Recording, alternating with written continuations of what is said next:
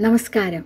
ഇന്ന് ഞാൻ ശ്രീകൃഷ്ണന്റെ മറ്റൊരു സുന്ദര കഥയായിട്ടാണ് വന്നിരിക്കുന്നത് ശ്രീകൃഷ്ണ ഭക്തനായ ഒരു മഹാത്മാവിന് വളരെ ചെറുപ്പത്തിൽ തന്നെ ബദ്രിനാഥനെ കാണണം എന്ന അതിയായ ആഗ്രഹം ഉണ്ടായി.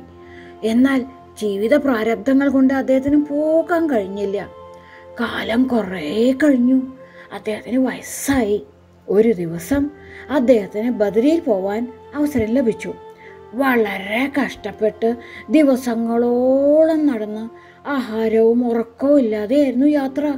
എന്നാൽ ഈ കഷ്ടത ഒന്നും തന്നെ അദ്ദേഹത്തെ ബാധിച്ചില്ല. മനസ്സ് മുഴുവനും അദ്ദേഹം കേട്ട ബദ്രീശന്റെ കഥകളിൽ മുഴുകി വഴിയിൽ മുഴുവനും അതെല്ലാം കണ്ണനോട് പറഞ്ഞുകൊണ്ടായിരുന്നു യാത്ര. അവസാനം അദ്ദേഹം ബദരിയിൽ എത്തിയപ്പോൾ രാത്രിയായി.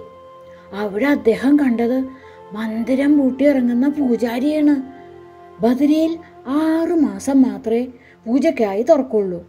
പൂജ കഴിഞ്ഞ് നട പൂട്ടിയാൽ ആറു മാസം കഴിയാതെ പിന്നെ തുറക്കില്ല. അങ്ങനെ നട പൂട്ടി ഇറങ്ങണ സമയമാണ് അദ്ദേഹം അവിടെ എത്തിയത്. ആ ഭക്തൻ ഉറക്ക കരഞ്ഞുകൊണ്ട് പൂജാരിയുടെ കാൽക്കൽ വീണു. ഒന്ന് തുറന്നു തരൂ. ഒരു നിമിഷം മാത്രം ഭഗവാനെ ഒന്ന് കാണാൻ അനുവദിക്കണം.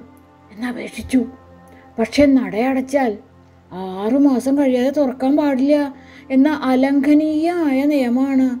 പൂജാരിക്ക് ആ ഭക്തനെ പറഞ്ഞ് മനസ്സിലാക്കാൻ കുറേ ശ്രമിച്ചെങ്കിലും പറ്റിയില്ല.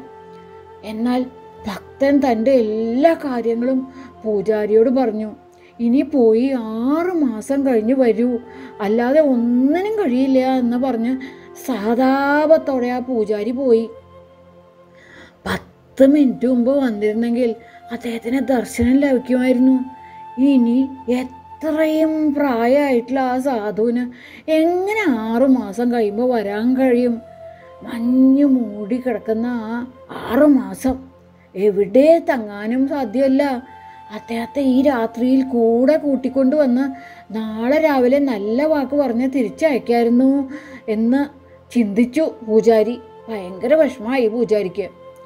എന്നാൽ ആ ഭക്തൻ കൃഷ്ണ എന്ന ഉറക്ക കരഞ്ഞുകൊണ്ട് നിസ്സഹായനായി ബദരിനാഥന്റെ മുന്നിൽ കുഴഞ്ഞു വീണു. അദ്ദേഹത്തിന്റെ നിലവിളി കേട്ട് ഒരാട്ടിടയൻ അവിടെ ഓടിയെത്തി. അദ്ദേഹത്തെ താങ്ങി എഴുന്നേൽപ്പിച്ചു. അടുത്തുള്ള തന്റെ ഗുഹയിലേക്ക് കൂട്ടിക്കൊണ്ടുപോയി. അദ്ദേഹത്തിന്റെ കാലും മുഖവും കഴിച്ച് വെള്ളം കുടിക്കാൻ കൊടുത്തു. എന്നിട്ട് ആ ഭക്തന്റെ കാൽ തടവി കൊടുത്തുകൊണ്ട് കാൽക്കലിരുന്ന് വിശേഷങ്ങൾ ചോദിച്ചു. എല്ലാം കേട്ട് കഴിഞ്ഞ് ആ ബാലൻ പറഞ്ഞു അങ്ങ് വിഷമിക്കണ്ട. ഇവിടുത്തെ പൂജാരി മഹാദയാലുവാണ്. അങ്ങയുടെ മനസ്സ് മനസ്സിലാക്കി തീർച്ചയായും നാളെ രാവിലെ അങ്ങയ്ക്ക് വേണ്ടി നട തുറക്കും. തീർച്ച. സമാധാനായി ഉറങ്ങും. ഇത് കേട്ട ആ ഭക്തൻ പറഞ്ഞു എന്റെ കൃഷ്ണൻ വന്നു പറഞ്ഞ പോലെ ആശ്വാസം തരണു നിന്റെ വാക്കുകൾ പക്ഷേ കുഞ്ഞ് എനിക്ക് നാളെ ഭഗവാനെ കാണുന്നവരെ ഉറങ്ങാൻ കഴിയുന്ന തോന്നണേ ഇല്ല കേട്ടോ ആ ബാലന്റെ കണ്ണുകൾ വികസിച്ചു. കൃഷ്ണനോ? അതാരാണ്? അങ്ങയുടെ മകനാണോ? കുഞ്ഞ് എല്ലാവർക്കും നാഥനായ കൃഷ്ണനെ കുറിച്ച് നീ കേട്ടിട്ടില്ലേ? മനുഷ്യബാലനായി ഭൂമിയിൽ അവതരിച്ച് ആടിയ സുന്ദര ലീലകളെ കുറിച്ച് കേട്ടിട്ടില്ലേ? സ്വാമി ഈ കാട്ടിൽ കഴിയുന്ന എനിക്ക് ഇതെല്ലാരാണ് പറഞ്ഞു തരുന്നത്?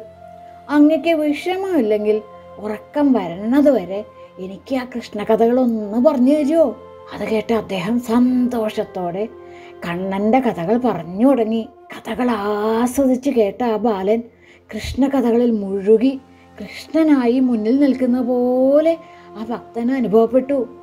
രണ്ടുപേരും പരമാനന്ദത്തിൽ മുങ്ങി നേരം നന്നായി പുലർന്നു.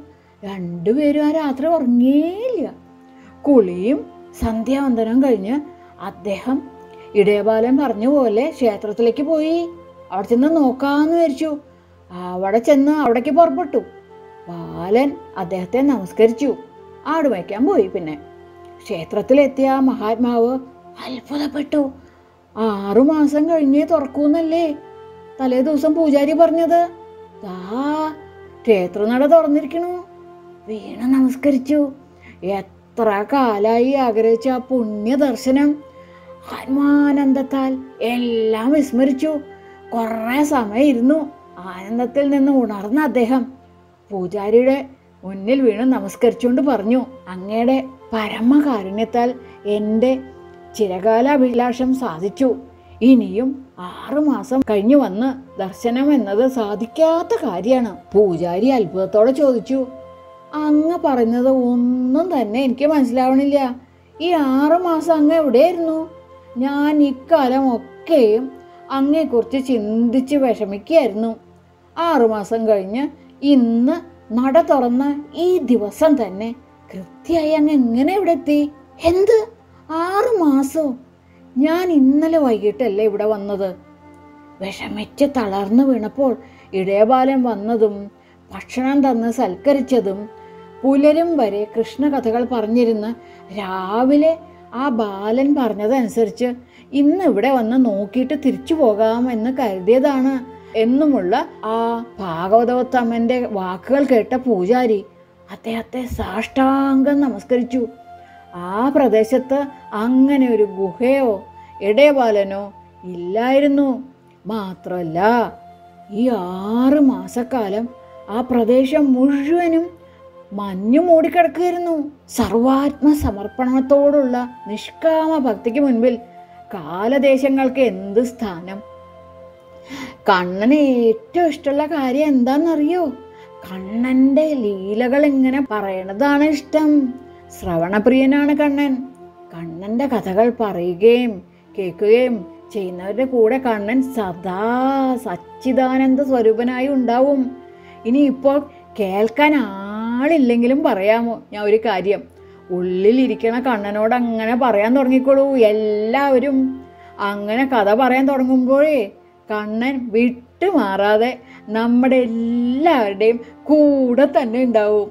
തീർച്ചയാണ് സത്യമാണ് അത്. ഹരേ രാമ ഹരേ രാമ രാമ രാമ ഹരേ ഹരേ ഹരേ കൃഷ്ണ ഹരേ കൃഷ്ണ കൃഷ്ണ കൃഷ്ണ ഹരേ ഹരേ കൃഷ്ണ കൃഷ്ണ കൃഷ്ണ.